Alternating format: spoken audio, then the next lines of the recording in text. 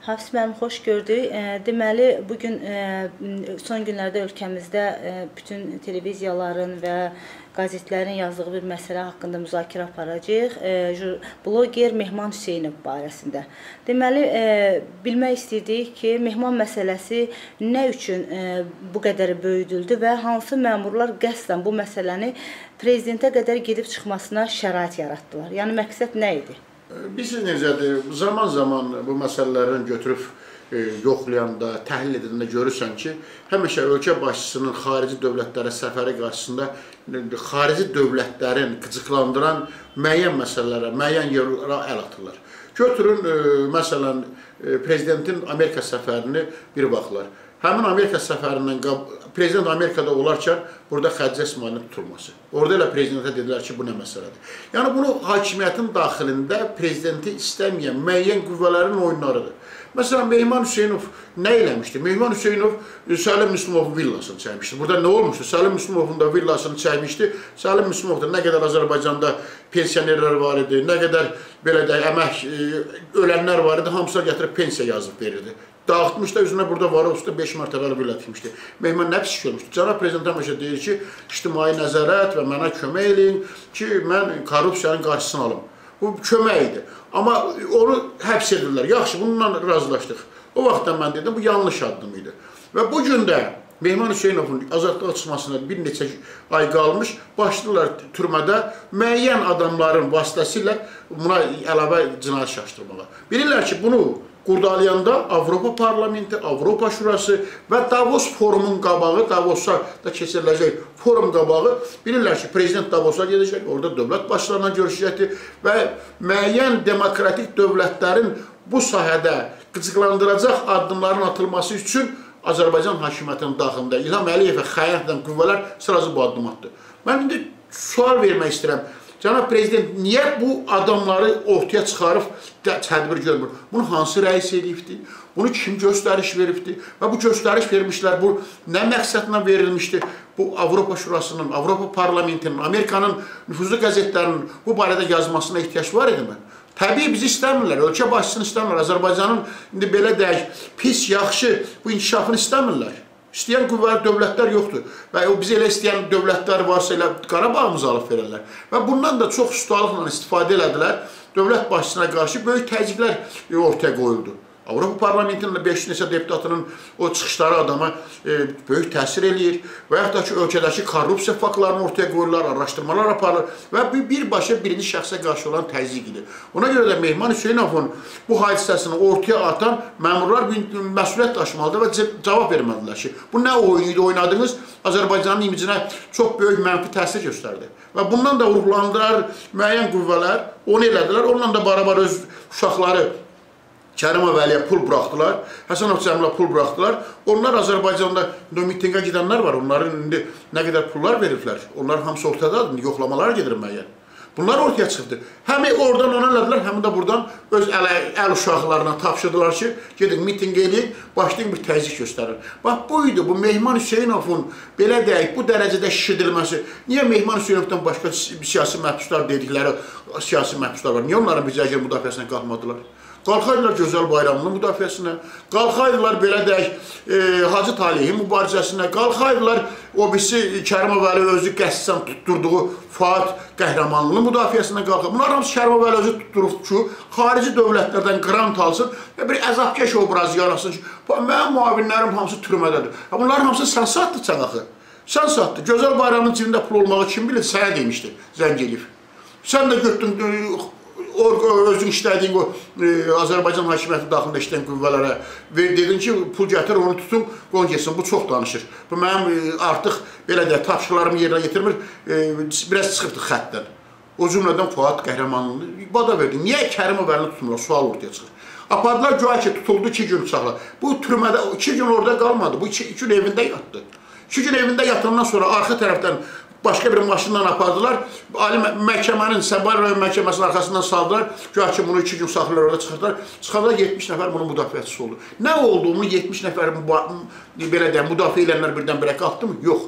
Ona görə də Mehman Hüseynov faktorundan Kərimov Əli e, və hakimiyyət daxili qüvvələr özləri qurdular, özləri də bu işi qaynatdı. Heç bir xalq qaynasın və bundan istifadə eləsinlər. Bu faktordan da istifadə elədilər. Ona görə də mən düşünürəm ki, bu cür hallara bundan sonra da yol verəcək. Nədir? Burada yeganə bir məqsəd ondan ibarətdir ki, dövlət başçısı atacağı addımların qarşısı alınsın. İslahatlar aparmasın. Bu köhnə qurtlar, bu qoca qurtlar ortusun yesinlər. Ax, ölənə qədər elə istəyirlər bunlar kresloda ölsünlər. Bax, məsələlərin mahiyyəti bundan ibarət. Bizim xalqımız da Allah şükür bu məsələləri görmək istəmir ki, saray daxili müharibələr keçir Azərbaycan xalqının belə deyək, qanla, qada ilə e, belə deyək, qurduğu dövləti bada verməkdən ötəri. Gəlin görək, necə olurdu ki, e, hökumət elə canı yanarsa Qarabağ mitinqinə icazə vermədi. Ondan sonra Müsavat Partiyası 15-də miting almaqdan ötəri icazə vermədi. Niyə Kərimov Əliyə birdən-birə ilə 20-si yanvar hüzür günü qabağı, 20-si yanvar şəhidləri andığımız anından bir gün öncə e, ona icazə verdilər? Bunu bir təhlil edən oldu mu? Azərbaycan xalqı bunu görürmü ki, bu adam Kərimov Əli bu hakimiyyətin bir nömrəli müəyyən klanın belə deyək, ortaya atdığı adam. Bu 25 ildir bu xalqı alladır. 25 ildir xalqın başının altında yastıq qoyur. 25 ildir Azərbaycanda milli qüvvələrin birləşməsinə imkan vermir. Sonra biz qalxana deyirlər hakimiyyət adamı. Arkadaş mən ömrümü, həyatımı qoymuşam Azərbaycanın müstəqilliyinin yolunda. Amma bu Kərimov Əli nə eləyibdi? Bu o vaxt Elçi bəy rəhmətli Allahdılar, getdilər bunu qoydular. Getdi Elçi bəyə də zəhər verdi, öldürdü.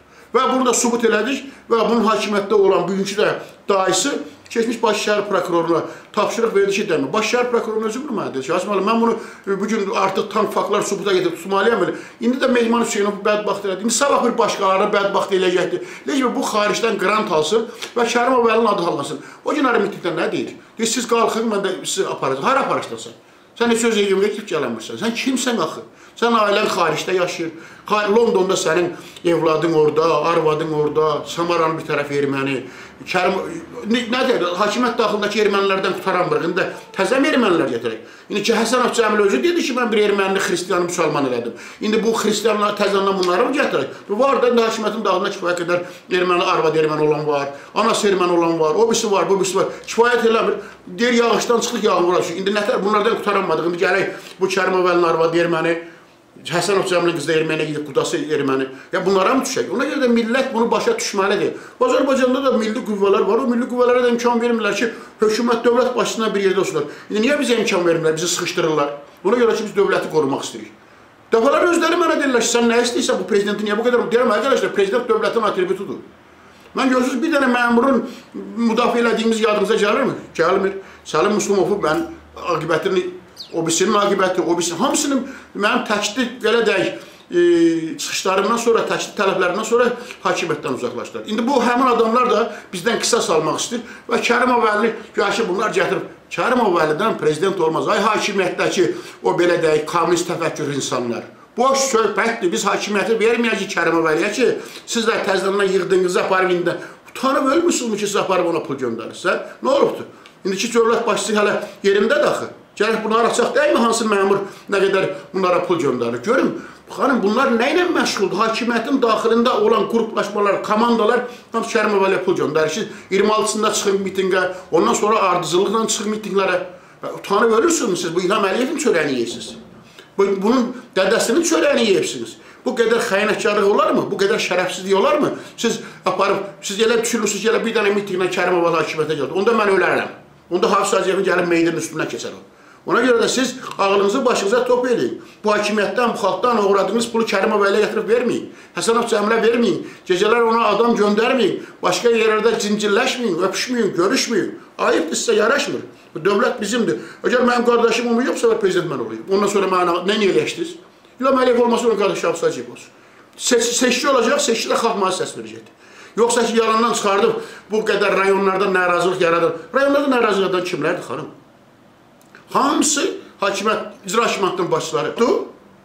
Bu cür biabırçılıq olmaz. Bu cür vəziyyətə dözmək qeyri-mümkündür. Yadınızda qalsın, Azərbaycan dövlətini bu gün hakimiyyətin daxilində olan müəyyən qüvvələr gətirib bu vəziyyətə çatdırırlar. Ona görə də bu baxımdan mən deyirəm ki, müəyyən qüvvələr bu gün hələ Kərimov Əlinin heç hakimiyyətdə o belə deyək görünmür, ömür boyu mümkündür. O da Elçi bəy rəhmətli idi.